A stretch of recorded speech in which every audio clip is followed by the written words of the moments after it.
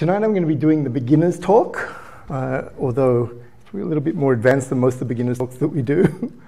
I'm going to be going through uh, sequence-to-sequence models and the neural machine translation. Um, do people know what neural machine translation is? People have heard the, the term before? Yes? No? Yeah?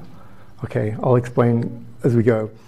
Okay, so let's start off with sequence-to-sequence models. So sequence-to-sequence models are used for a whole bunch of, uh, of different stuff. Everything from chatbots to uh, speech-to-text to dialogue systems to Q&A uh, to image captioning, which uh, Martin's going to be looking at later on tonight.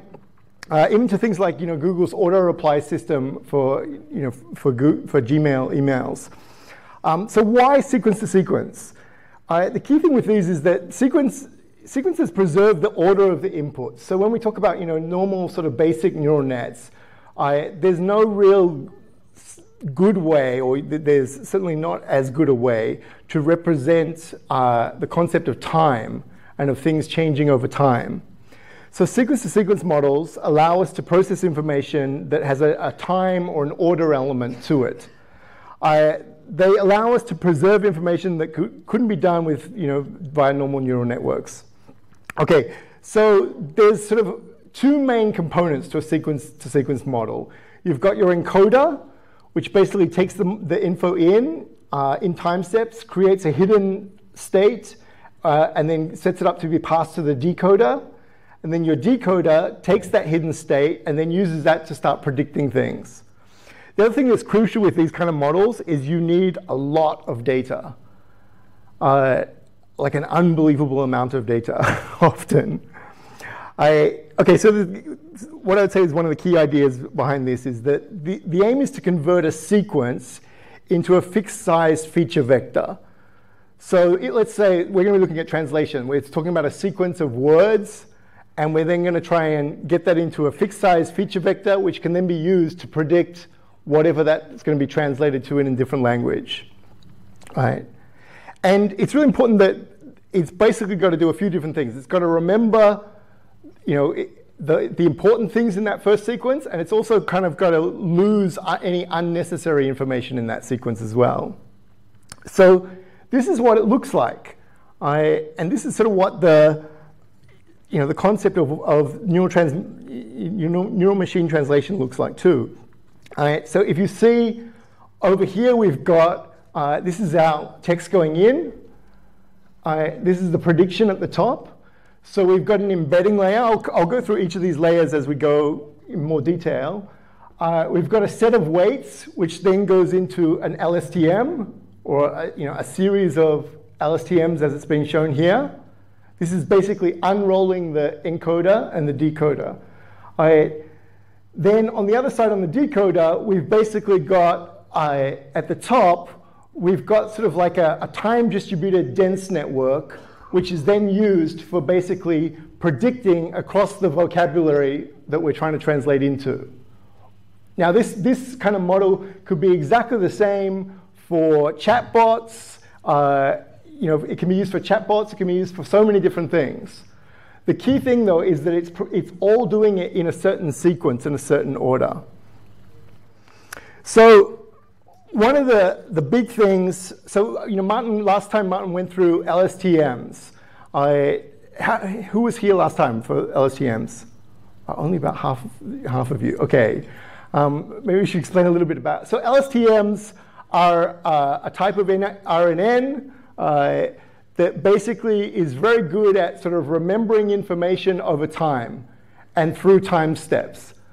I, the thing that, and, and it also has the ability, you know, we, I don't have a diagram of actually sort of the makeup of it, but it also has the ability to remember certain information and forget certain information. I, the key sort of advance in, uh, in LSTMs in the past year or two would be this concept of bidirectional uh, encoders and bidirectional LSTMs. So here what we're having happen is we've got one series of LSTMs that are covering the text forward, and then right above that we've got another series that's coming from the other side. So our weights, in this case you see A's, uh, is basically the hidden state. And we end up having two hidden states, one from the forward direction, one from the backward direction.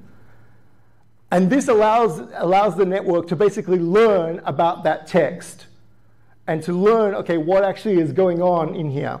Now, the, the big thing is that uh, we often have a lot more than just two layers. Right? I'll come, come back to that. Let's look at, okay, so the, the, the bi LSTM secret. Um, bidirectional LSTMs generally work better than almost everything else for NLP at the moment, especially when added with attention. Uh, they, they basically you know, seem to be outperforming everything. Uh, does anyone here know Chris Manning? Uh, so Chris Manning is one of the uh, lecturers at Stanford. Is also one of the key people who behind GloVe embeddings and behind a number of quite uh, well-known papers. I, at a talk recently, he basically said that it was almost depressing that with NLP nowadays, if you want to get the best result, just throw bidirectional LSTMs plus attention. And it will, you know, generally that will produce the best result. I, and, and it's, it's just a simple fact that this seems to be the, the model that works. Now, I showed it before. Uh, that, that, said, though, often state of the art in NLP is still very much lacking, which is also sort of the sad thing, you know, with uh, a lot of this stuff. I, I, showed a model before with just two layers, right? I, here we've actually got uh, two bidirectional LSTMs, so we've got four layers happening often for things, you know, for bigger models, you may have six different bidirectional LSTMs that you're going into. The key thing is each one of these has a set of weights inside it. And each one is learning. And you know, if we're, if we're passing the sequences up, each one is influencing the one above it. And as it goes forward in time, it produces a hidden state of representing everything that's in those words, or ideally everything that's in those words. Okay, so the, the decoder. Right? So when we come out of, in a sequence-to-sequence model, often when we come out, now I will preface this by saying that there are a lot of different ways to do sequence-to-sequence -sequence models, and there are quite a few different types of architectures for sequence-to-sequence -sequence models, and I'll show some of those later on. But often what you do is you come out of your your encoder and you come up with what's called a context vector. So the context vector basically is sort of like the, the one snapshot of that entire sequence that's happened before now. And that is used then to predict our output. So we basically have a dense layer with softmax, just like a normal uh, neural network that we've, you know, we've looked at quite a few times before. The thing is though, it's time distributed, meaning that we have one of these for each time step. So if you, you see the, the circles at the top, that re represents your entire vocabulary. If we're doing it in text and we're trying to get back to words, obviously we'll, you know, we'll talk about it, everything gets coded into numbers before we put it in. But if we're trying to get back to words, that top layer there will have uh, one neuron for every single word that you have in your vocabulary. So that top layer will often be super big. I think you know in the, the one I'm going to show you tonight is a very simple example and it's 20, 27,000 you know, neurons wide or something. And that's just a simple, you know, reasonably simple example. I, the key thing though is that once that makes a prediction, so here we've got a Go token being passed in and it's making the prediction I. Then what happens is we feed that as the input on the next cell and it now makes the prediction am. Then we take that, we feed that into the next one, and it makes the prediction good. In theory, if you get it all right, it should feed out whatever you're trying to translate, or whatever the answer for a chatbot is. And this is where, you know, this is one of the ways, last time I talked about generative chatbots. Um, this is one of the ways you can actually rep reproduce a lot of things with generative chatbots too. Okay, so the first thing to understand is that a, the sequence, the model, will have a length of a sequence. I, in the one that I'm going to show you, that length is 30 time steps long. So it means any sentence that I'm going to, that's 30 steps or less, I can put into that model. Or even if it's more, I just truncate it at the end. All right? But to do that, you have to put in what's called padding. So we basically have to pad out the words uh, with some sort of, you know, some sort of token that the network's going to learn to recognize. And this is a very simple concept to get. I, I think it's just, you know, if you look at it, we've got the, the sentence saying, hello, how are you, with a question mark at the end. Uh, in this case, uh, the padded length or the sequence length is eight steps long. So basically, I'm passing in hello, how are you, question mark, pad, pad, pad. Generally, the pad will be a zero. And it's just how we fill out the steps in this. You will also see this being used uh, if you're doing any sort of text with CNN stuff. Often you will use padding and stuff as well. So it's a very uh, important concept to understand. Um, all the input sequences must be the same length as each other. Uh, all output sequences must be the same length as each other, but input and output don't have to equal. So you could have 30 steps in, three steps out.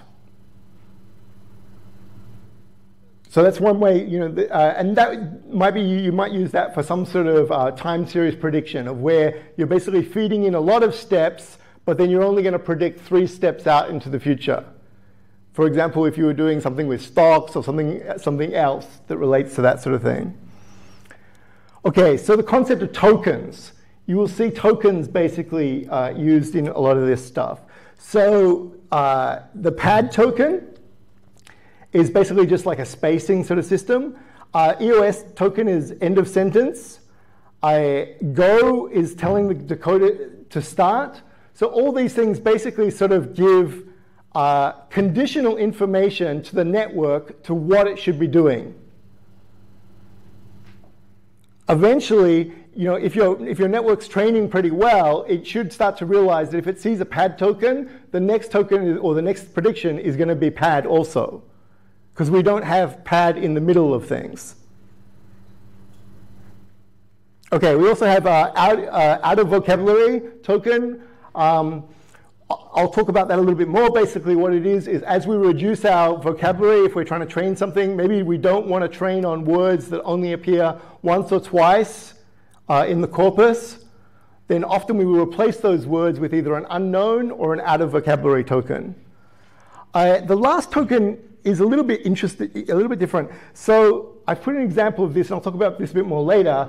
This is uh, used for the neural, trans, uh, the neural machine translation when they want to sort of say that this phrase is about to be translated into a certain language. Often what they will do is pass in a token of what the target language is. So it's kind of like telling the network, hey, this phrase, I'm going to want you to encode it so that, uh, in this case, Spanish, right, will be able to understand it and decode it into Spanish.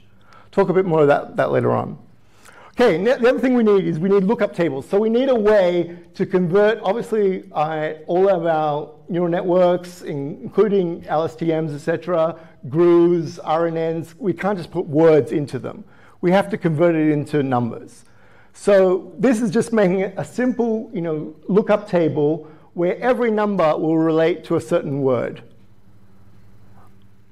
Often you'll do that based on the frequency of words. So more frequent, the more frequent the word is, the lower the number is.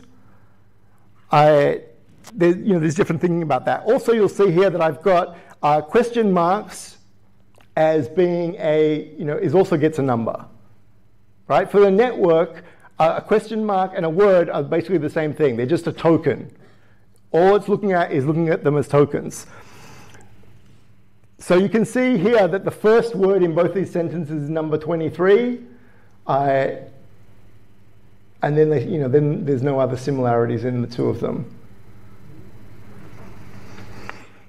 Okay, so this is what I was talking about before. We often discard words that are used very little and we replace them with an unknown token or an out of vocabulary token.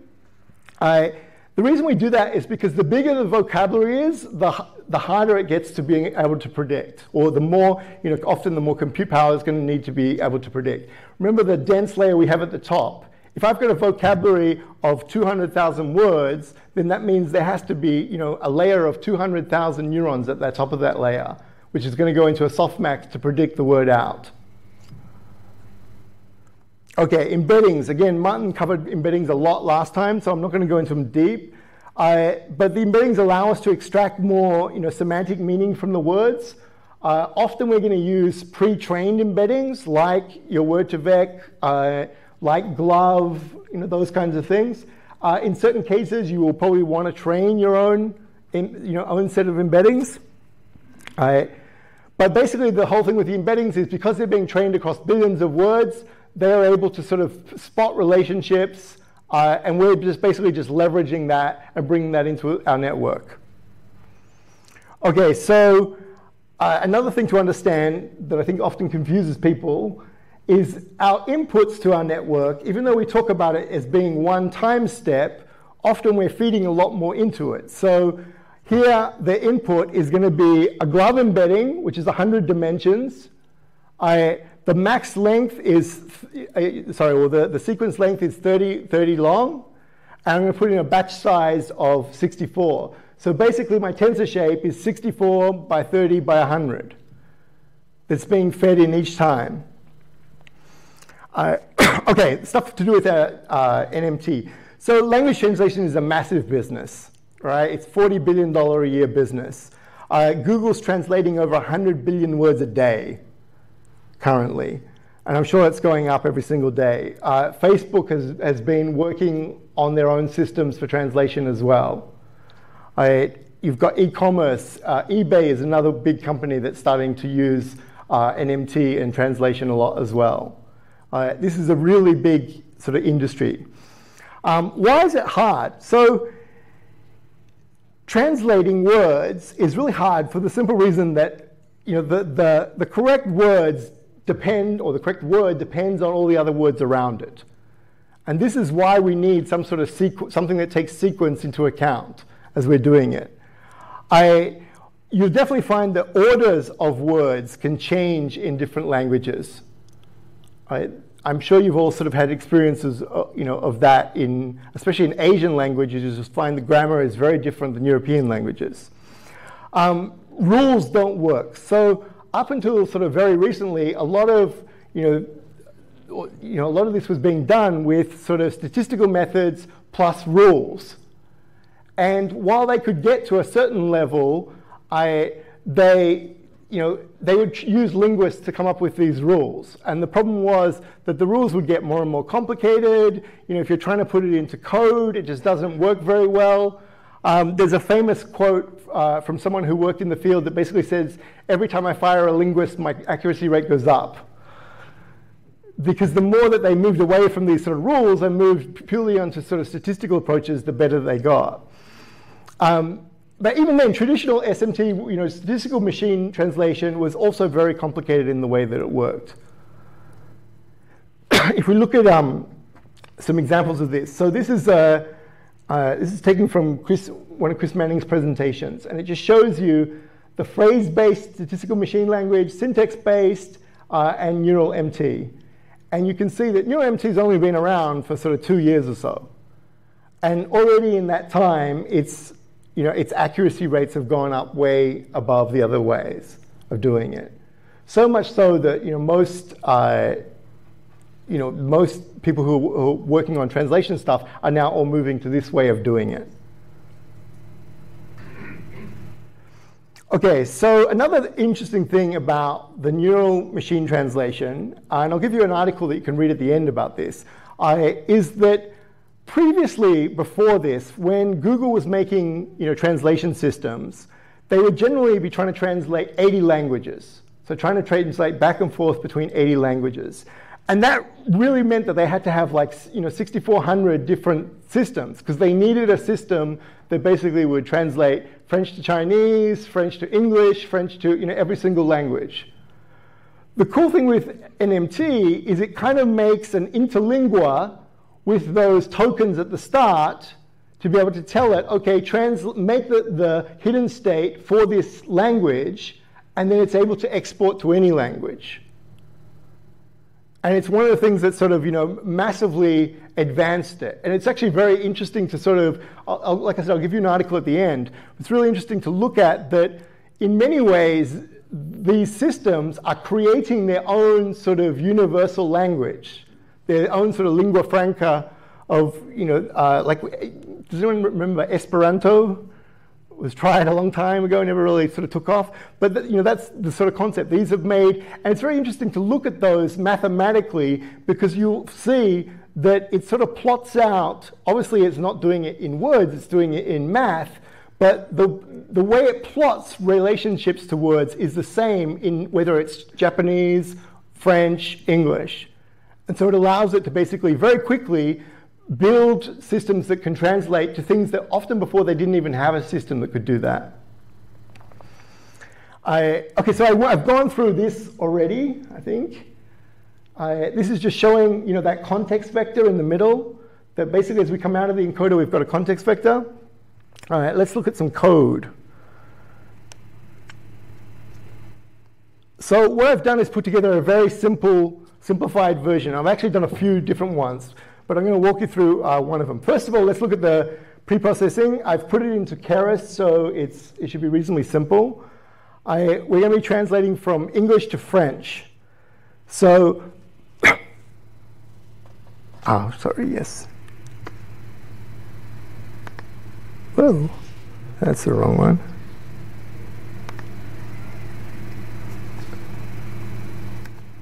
How's that? Yeah. Okay, so I'm going to be I'm going to be going through through it and showing you. We're going to be using uh, pre-made embeddings, uh, and we're basically using you know a, a corpus of French and English, and I'm filtering it down just to the questions. So the first thing is to do is basically just get the, the corpus in, uh, create some regex expressions. So I'm looking for things in English that basically are sort of uh, your who, what, where, right, type questions. And then from that, we can see that we come up with about 52,000.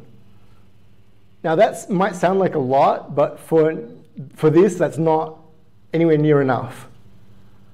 Uh, generally, I, you know, you're looking at sort of, for a bad, uh, a bad system, they're using sort of a minimum of 3 million uh, different you know, pairs that are pre-translated. Uh, a lot of the sources for this kind of stuff is places like the UN, uh, the EU, where basically they actually ha have all this stuff translated into so many different languages already. And you often spot, you know, that when you're using Google Translate or something, that certain types of language it's really good at, more formal language, uh, sort of stuff that's not as formal, it, it's definitely not as good at. Okay, so you can see here I've got my, uh, my English, my French, I, I'm basically just going to pickle it all. So what I've done is on GitHub, I've put the pickle files so you can just pull all those in. You don't need to go. The whole corpus, I think, is like a couple of gig already. I, okay, then we want to make our tokens. So we're basically just making a, a simple token system. And you can see here, now I'm basically just taking our sentence. Can everyone see that? Yes. I, and I'm basically just tokenizing it. Just very simple, simply breaking things into tokens. Then later on, we're going to put some padding in it. But we're not going to put the padding in when it's in text. We're going to put the padding in when we, after we've converted it to math or to numbers. Then basically we come through, we make our, uh, our IDs. Uh, we get our word embeddings. So I'm using GloVe with only 100 dimensions here for the word embeddings. I, I think the minimum that Google uses for a language is 1,024 embedding for, you know, for the, the translation and stuff like that. so I want you to sort of realize that all these things, this should not work, right? We're using way too uh, little information, we're using way too thing, you know, uh, the embeddings are too small, etc. Um, okay, so we then, you know, then we bring in some French embeddings, which I'm sort of using for for another part of it. Uh, okay, now we bring it in and use Keras to do our padding. And you see now that we've basically got uh, our padding of basically our 52,000 uh, questions, all 30, you know, 30 long. And so if that, if that sentence was, was longer than 30, it's been cut off, it's been truncated. If it was shorter, it's been padded. The cool thing with, with Keras here is it basically just does it for you. Makes it very simple. And actually, here's an example of one of them. So we can see here, uh, so basically I ran them, I set, randomized them a bit, I shuffled them, I set up a train test set, um, and then we look at it and we can see that, okay, in this sentence, I don't know which word is 18, but we can see that we've got 18, 52, it gets to a certain point, and then we've got zeros all after that. So that sentence is only that many words long. Okay, let's look at the model.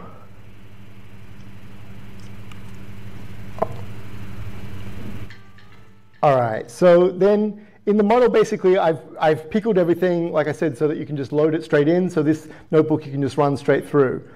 I, before the model, I'm basically setting up some simple uh, Keras callbacks to handle things like learning rate change, uh, early stopping, things like that. If you haven't seen that before in Keras, here's an example of it. I, I'm, I was mucking around with different types of learning, learning rate dropping. I, both sort of manual ones and sort of like ones that were sort of automatic. And then I come with, to the embedding. So basically here I'm using the bidirectional LSTMs.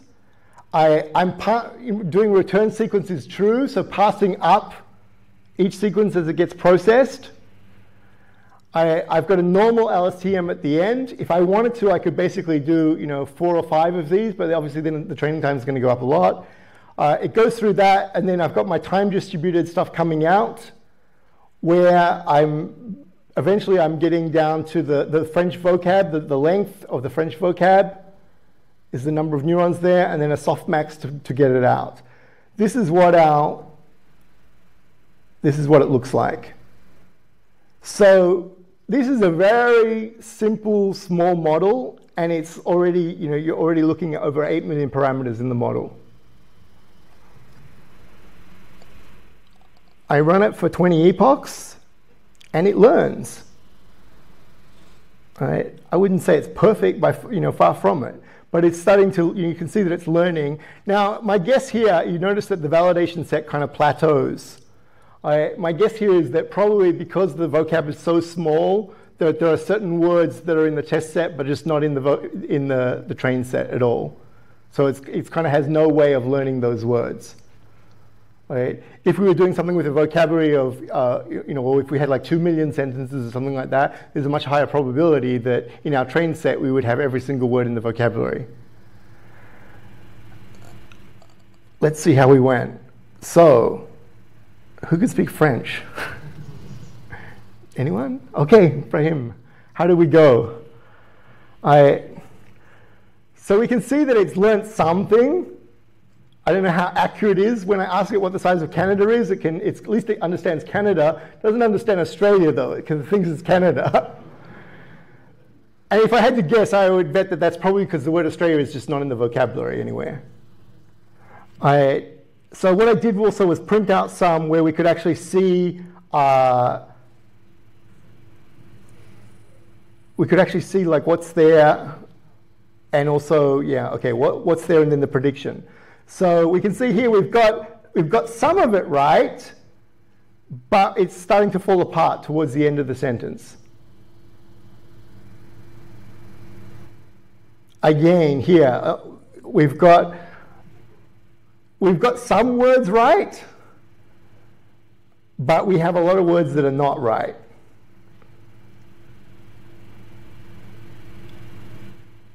And this is, you know, this is literally training for about 30 minutes on a, on a uh, pretty good GPU.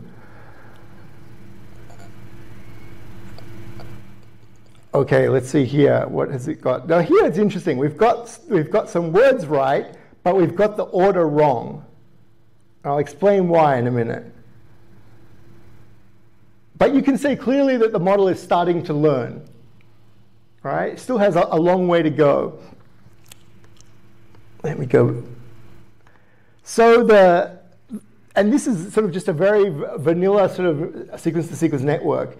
And you find that there's some really uh, sort of key things with these kinds of networks is that they will work very you know, pretty well on short sentences, but they won't work on long, you know, anything sort of longer.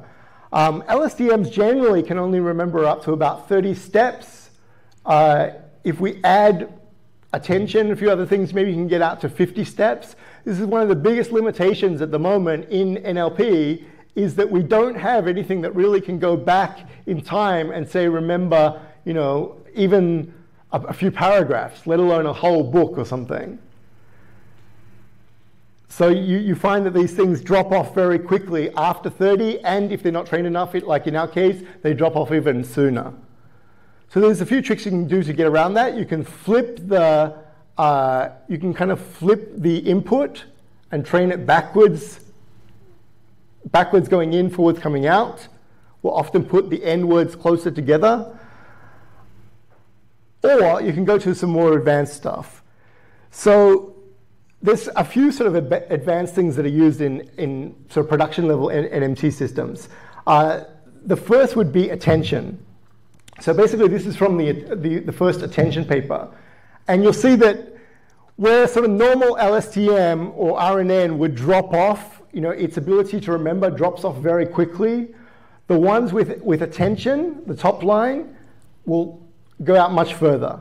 Even then, though, it, after sort of 50 steps, it's not going to remember too much. Right? It's going to struggle to remember certain things. So this is a, a, graphic that I took from one of the blogs I've put in the resources to just show, show what attention does. Attention kind of looks at the whole thing and works out, okay, which word is most important for this word? So it sort of gives a score to every word in your, in your sentence. And with that, it's able to sort of get a sense that, okay, there are certain words that rely on other words a lot more uh, than other ones. There's, the, you know, there's very distinct sort of relationship there. I, the good thing with this is, uh, I'll explain it a bit more. So these do a lot better than just short sentences. Um, you'll find, okay, so this is some of the things we saw before, that the the previous way of doing it will often uh, generate sentences with good grammar, but will either sort of get names wrong or will repeat itself. And we saw that where it was repeating a question mark, for example, or was repeating certain words. So think of attention as, as kind of like a little memory module that basically sits above the network. And there's a number of different ways you can do attention, but you can think of it sort of like a little memory module that sits above the network and then sort of looks at the words and says, okay, which ones are most important? So if we look at this sentence, clearly not all words in this sentence are of equal importance. So I've sort of color coded them to just sort of you know, give you an idea that, okay, well, I, last Friday, that's a very specific relationship. You know, we, in, especially in different languages, you know, if, if we don't have that word last and it just says Friday, then often people will think we're talking about the future or we're talking about a different time tense. So things to, that relate to tenses are really import, important in this case. This is, they really benefit from attention. Um, where uh, Google's old translation system used to fall down a lot would be in things where, uh, in things related to time, where you would see, it would, one sentence would talk about a sequence of different events happening and the translation would have them in the wrong order and it would actually read as something totally different than what maybe the English sentence said or what the, the base language said.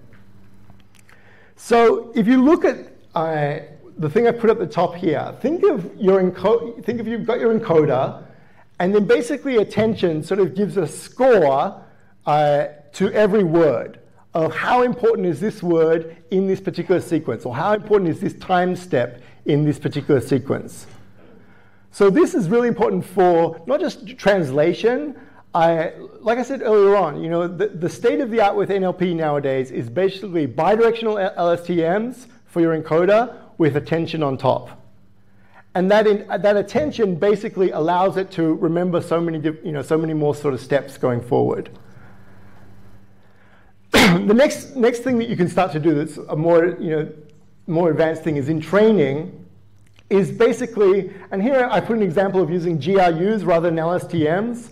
Sequence to sequences can be RNNs, can be LSTMs, can be GRUs, any of those will work. Just most of the time, you will generally want to use an LSTM, and if it's a low level one, you want to use you know, a number of bi-LSTMs, bi-directional LSTMs.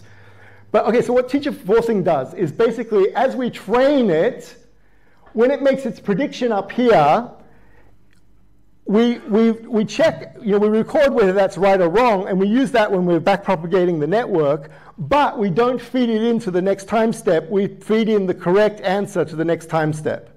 So we call this sort of teacher forcing, where we're basically forcing the decoder part to not just use this, you know, the, the output, the last hidden state, but we're forcing it to actually use the, the correct answers.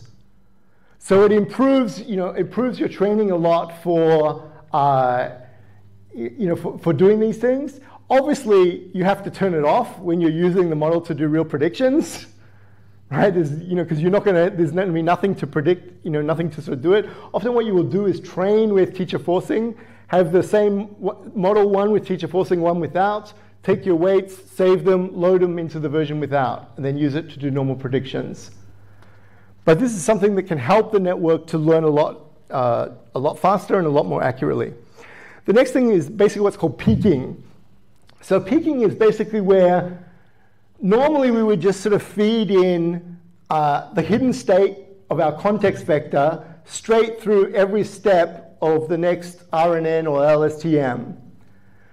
What peek, and, and what happens is that each of these steps, so actually this one, you can see here, this one shouldn't be an A, it probably should be a B. Uh, you can see here that, okay, each of these is our weights, right?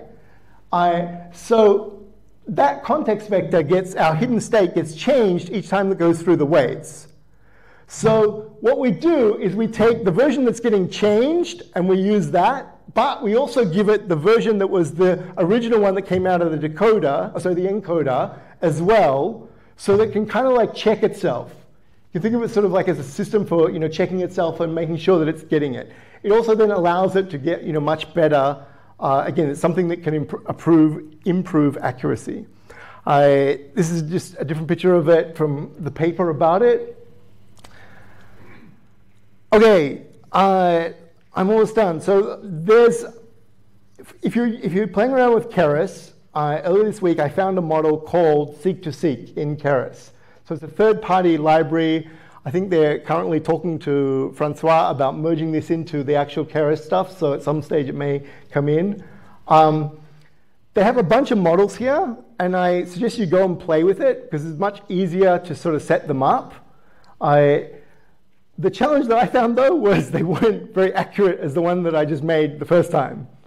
Now that could be though because uh, I didn't give them enough time to train and stuff like that. They seem to be a lot slower at converging even though they had you know, attention and peeking and things like that.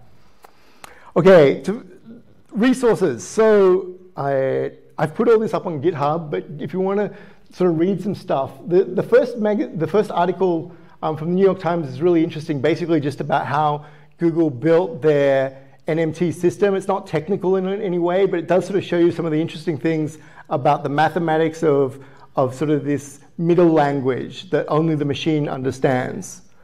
Um, there's a really good, uh, the distill.pub. If you don't know that site, you definitely should. Uh, it's got a lot of good articles on it. This one's from Chris Olah, all about sort of uh, augmented RNNs. Basically, he goes into attention there and talks about you know using it for different things. I, if you get a chance, the, the, other two things I would say to check out would be Chris Manning's uh, NLP with deep learning from Stanford, uh, I think now they've put all the videos up on YouTube. You can watch them. I, there's also a really good talk that Chris Manning gave at the Simons Institute earlier this year, basically going through sort of what is state of the art in NLP and how is it done. Um, the last one is basically uh, a video to Le, who gave a talk about sequence to sequence. Uh, is the, kind of the guy who originated a lot of the stuff to do with sequence to sequence, wrote a number of the papers about it. He works at Google. He uh, is one of the key people behind the Smart Reply for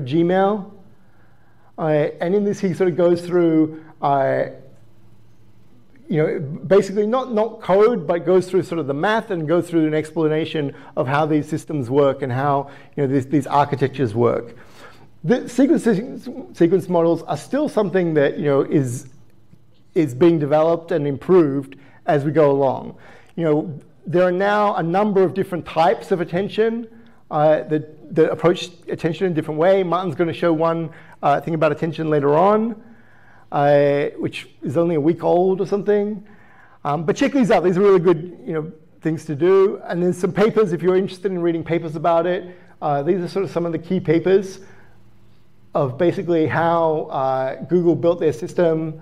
And also the, the last one is actually kind of an interesting paper. It's basically like a 60-page guide to sequence-to-sequence -sequence models and all the different you know, different types of architectures and stuff like that for sequence to sequence models, if you're interested. That's it. All right.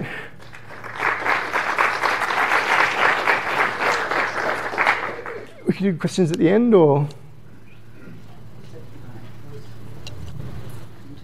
Yeah, okay. And Ian, want to come up? Does anyone have questions, or?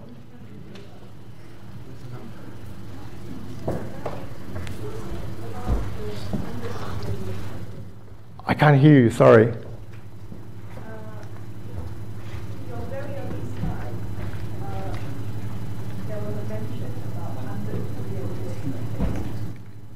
Yep.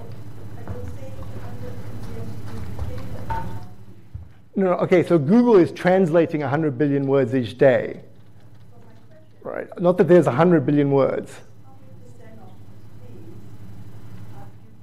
Oh, very high percent, I'm sure. Right? I'm sure it's like an 80-20 rule where, you know, 20% of, even just 20% of the, the languages or less, probably 5% of the languages make up 90% of the translations they've been doing.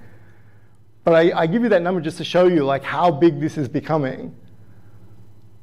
And the, the thing, you know, is that from here, you know, it, as these things get more and more accurate, you're going to find them being built into everything. Does anyone know the startup Waygo? Right?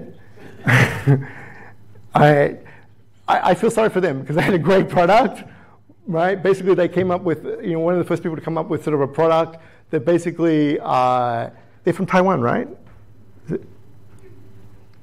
US, okay, all right. I, anyway, basically their, their product was sort of like OC, OCRing, you know, Chinese characters and then just straight away showing it in English, right? Uh, their technology was really good at the time when they came out, stuff like that. Of course, Google, Google's come along, given it away for free. Uh, it's gone everywhere. I, so, but, it, but you, you do realize that this is a very big business as well. Any other questions? Yeah, yep.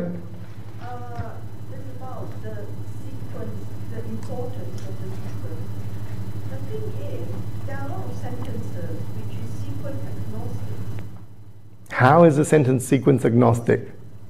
Uh, very simple sentences, uh, like usually composed of less than five words. And very few will be sequence agnostic, though. I can't think. Okay, give me an example. Okay. And, um, look, language has to have a you know has to have an order, right? If I say the cat sat on the mat, it's very different if I say the, the, the mat sat on the cat. Well, it has a meaning.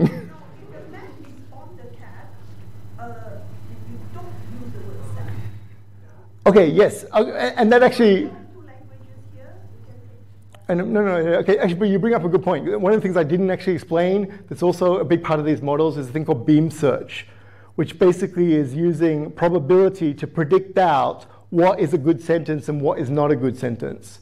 And often you, in a production model, you will then put that in as well so that you would find, just like the lady said, that you know, we wouldn't say the mat sat on the cat. And beam search would find that basically that, that sequence, the n-gram of, of, you know, or the sort of three or four words, whatever it is, will appear virtually never in normal language, so it wouldn't predict that. So this is where you know, beam search comes in really useful as well. LSTM Yes. Are they sharing weights, or is it copying out the structure, but they're actually separate weights? Okay, so they share all the weights for the encoder, right? One lot of weights for the encoder, one lot of weights for the, often for the decoder. You can do it either way, but generally you will, you know, you share the weights. So Go your on. sequence, let's say it's 10 long, right? So you have 10 LSTMs, one for each uh, step in the sequence.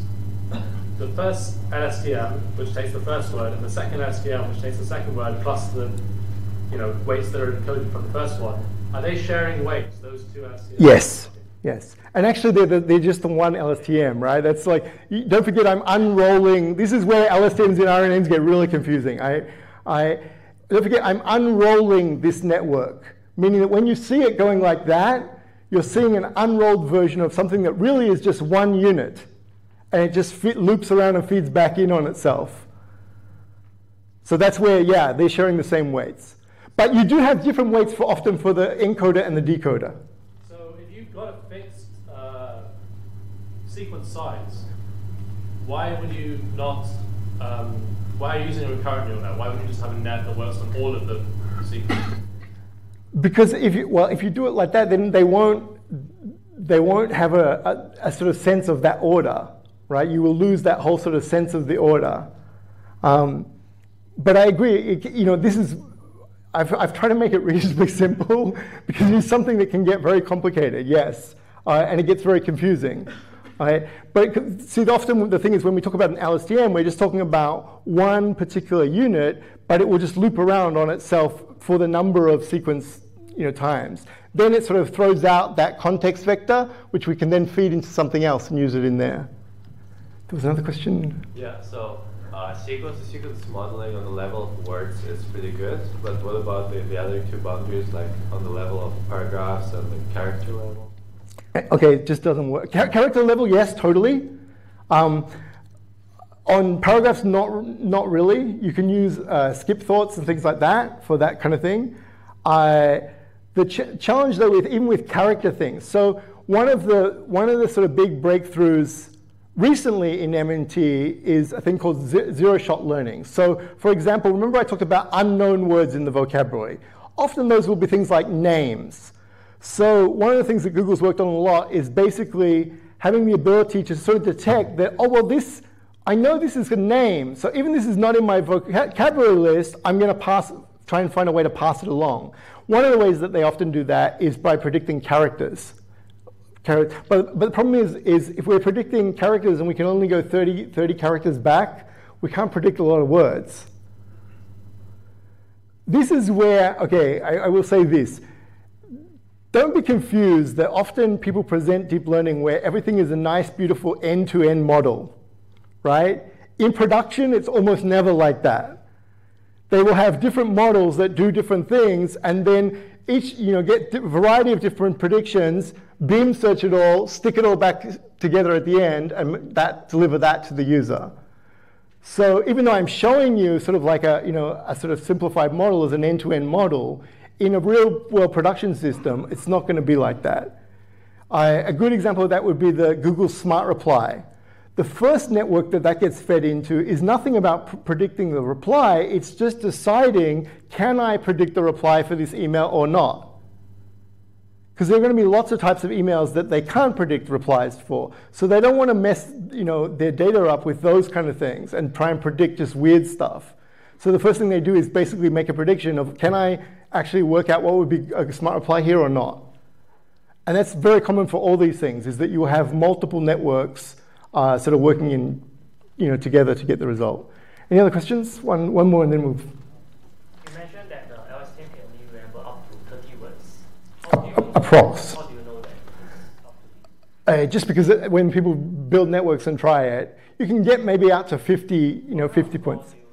Okay, the problem is this, right? So it, uh, Martin talked about LSTMs and RNNs last time. One of the big challenges with these is as you're passing those weights through, you've got the gradient, right, in, the, in your weights. Now you think about it.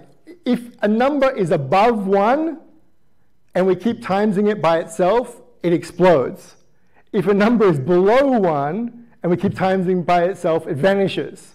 So this is where you get these either exploding gradients or you know, vanishing gradients. So to keep it from sort of exploding or vanishing 30 steps out becomes you know, a big challenge for the network to do. And it's something that, that certainly I, I do expect at some stage someone will come up with a new way to do this that can maybe get 10x what we can get now, and maybe we can get to 300 to 500 steps. That would be radically big move. Radically big move. Because suddenly then we could go from just predicting sort of sequences, we could do Q, we could literally do things like Q&A systems on whole, you know, paragraphs. And if you started to play around with, you know, paragraphs in a, a book, you pretty quickly you'd be able to, you know, do Q&A for a whole book. Anyway, go on. You plotted a graph, right, or showing the number of words that you can remember. Yep. What's the? Uh, is time, yeah. So you've basically got time and number of words, isn't it? I, one second. You're talking about the one about attention, right? You've basically got time going the over number of time steps and then the number of words that it's accurately getting right. And it's using what's called a BLEU score. BLEU score basically looks at n-grams and looks and says, okay, based on the corpus that I have, what's the probability of these being accurate? Meaning that like, we, like we talked about, you know, the cat on the mat versus the mat on the cat. The mat on the cat, the probability of that appearing anywhere, except in a translation, a transcription of this talk, you know, is not going to be very high. I, and so it uses that to basically then work out, okay, when it's getting things wrong. And it generally sort of slopes off, you know, quite quickly. And actually, I would say that that, that graph is kind of giving you the best too, meaning that often you will find things, you know, sloping off after sort of five steps, like we saw in the model that I showed you. That it could get like first four or five right, after that it was starting to either repeat itself or it's starting to, you know, get words wrong. And often it will repeat itself because it gets those weights stuck and it just keeps predicting those same, those same weights and it thinks that it's, you know, it's right. That's where teacher forcing can be really helpful to sort of kick it, you know, kick it and get it going better. Anyway, Ian's up next. I'm happy to take questions later on. Anyone wants to come up and, and talk or anything like that.